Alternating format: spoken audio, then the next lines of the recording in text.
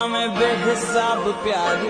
मैं हूँ एक एंजल और डेवल मेरा यार।